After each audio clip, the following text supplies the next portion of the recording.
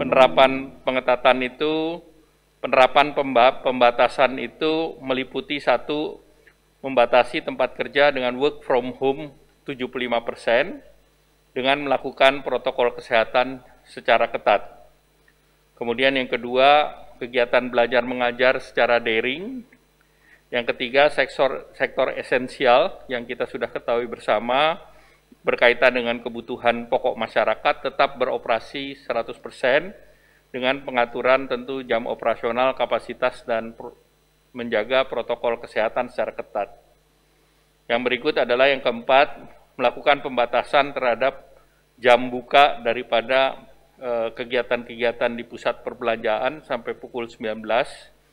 Kemudian makan minum di tempat maksimal 25 persen, dan pemesanan makanan melalui take away atau delivery tetap diizinkan.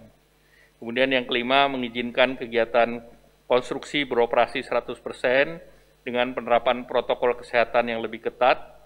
Kemudian mengizinkan tempat ibadah untuk melakukan pembatasan kapasitas sebesar 50% dengan penerapan protokol kesehatan yang lebih ketat.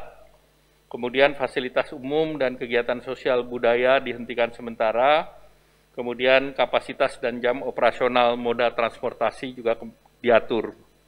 Nah, penerapan pembahasan pembatasan pembahasan secara terbatas tersebut dilakukan di Provinsi Jawa Bali karena di seluruh provinsi tersebut memenuhi salah satu dari empat parameter yang ditetapkan.